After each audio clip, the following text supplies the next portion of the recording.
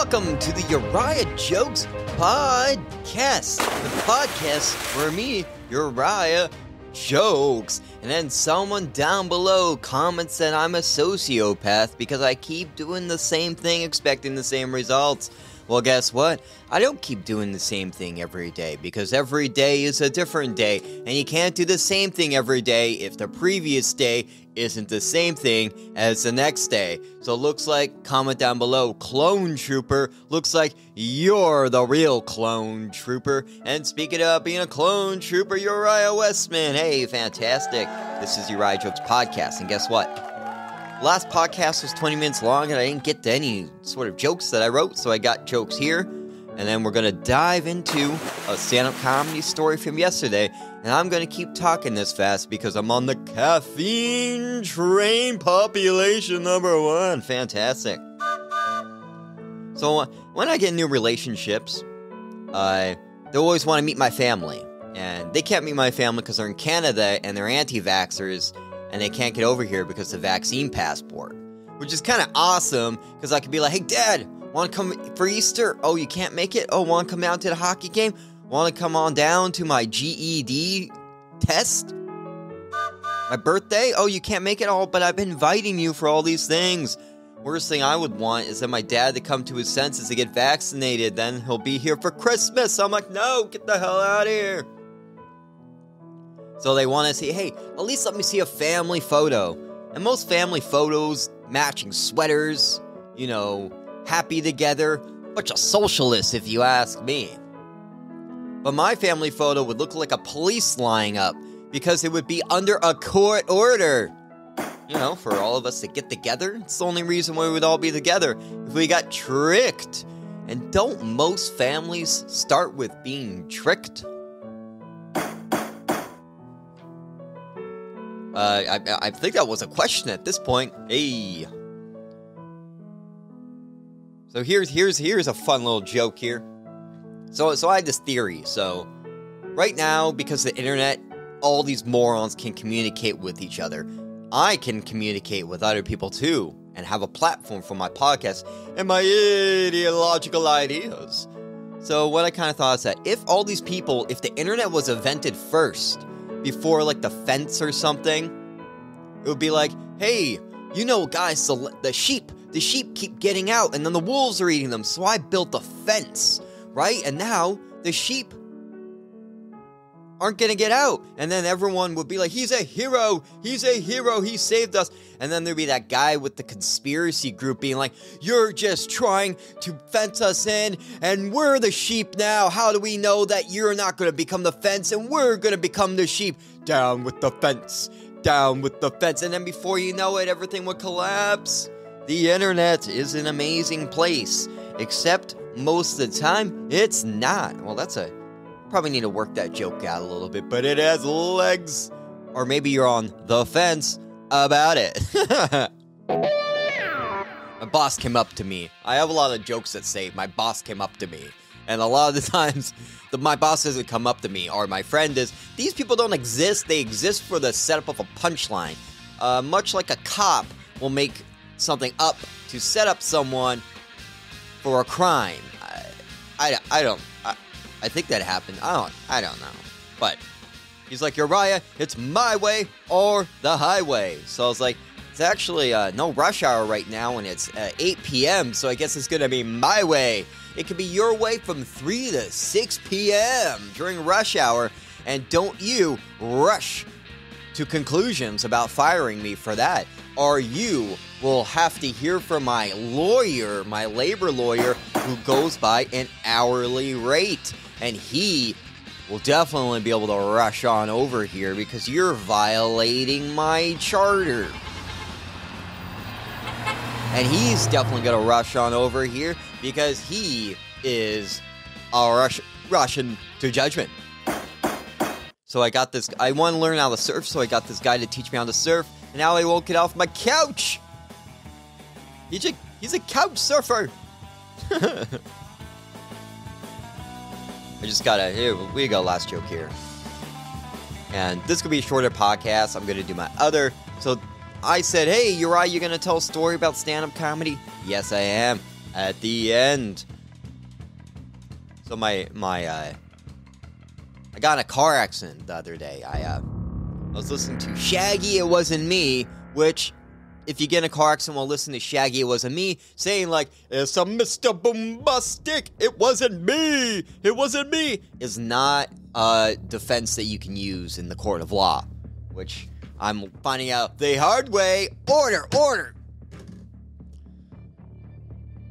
I'm out of order at that one, and this joke is out of order. So, got in a car accident. And of course, I'm like, is everyone okay? It wasn't me. Well, clearly it was me. I was the one who backed up into him, backed up into them, because baby, I got back. I got I got back problems. I was like, oh, I should have been like, oh my back, my back. But I didn't. I didn't. I didn't have my coffee yet, and I can't think until I've had my coffee, which probably means I shouldn't be driving a motor vehicle because then I get a motor vehicle accident so I, of course, called the police, get the report, all that jazz. Oh, the paperwork. Oh, the paperwork. You know, some people are scared of the badge and the gun. I'm scared of the paperwork because paperwork doesn't have little red lines. It doesn't have little red lines telling me when I'm misspelling a word, so I have to go with my own thoughts and confidence. And my handwriting is awful. It's a miracle that I can read and write. So I called up my insurance company and then they got mad that I called the police. I shouldn't have got progressive insurance. and I have several stand up comedy stories uh, that are varying degrees of interesting. Uh, one, one guy uh, commented, he's, he's been uh, watching my stuff and commenting for over a year almost, close to a year, so thank you very much. And he's like, Uriah, why do you have an Oxford dictionary? Well, I actually, uh, not only when I smoke weed, but when I'm just kind of relaxing, I'll open up the dictionary. And this is true. I'll, and I'll just glance through it. And I, I read words, I read the description of words, and I, I hope to find something. And sometimes, uh, out enough, I think about a joke. And, and so one of these jokes was I'm not really in the laissez faire, so I don't play golf. And in order to understand that joke, you need to know what laissez faire is, which I actually forget. And I don't have my dictionary around here. So I went to this mic way at 11 p.m. And it was it wasn't bad.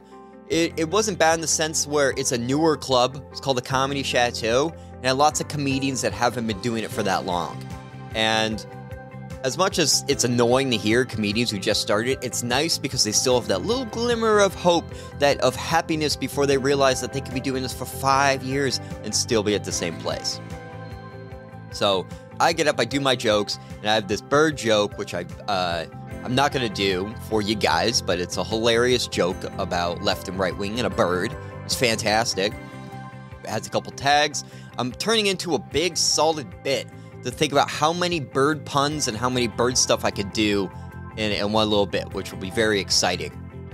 So I say the joke uh, and a tag to it, and then the, one other guy he starts laughing, and he it is like a diabolical laugh. I'll play the clip at the end, and it just goes and goes, and eventually I'm just like, I, I have to stop and let just because his laugh is making other people laugh and that's like one thing is like I don't need to move to a new joke.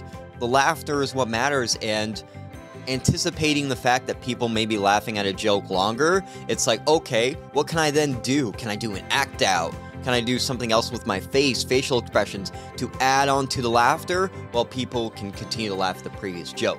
So I think that's really cool.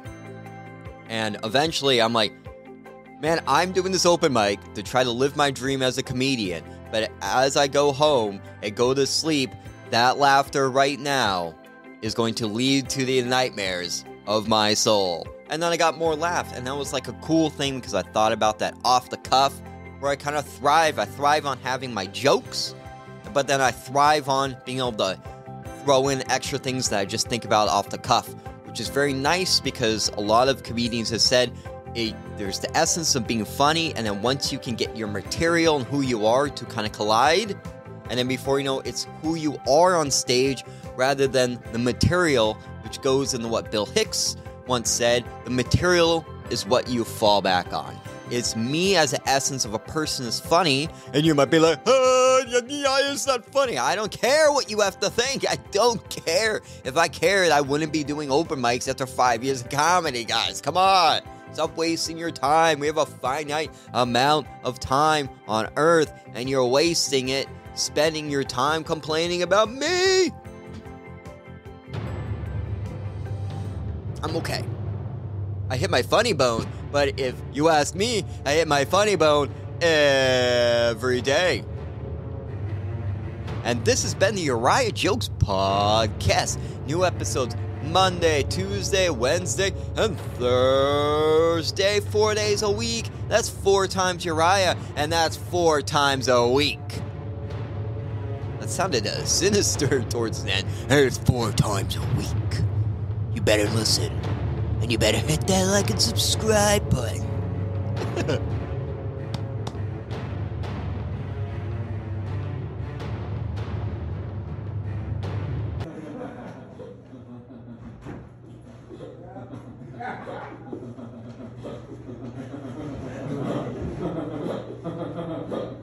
Okay, now we're getting worried. this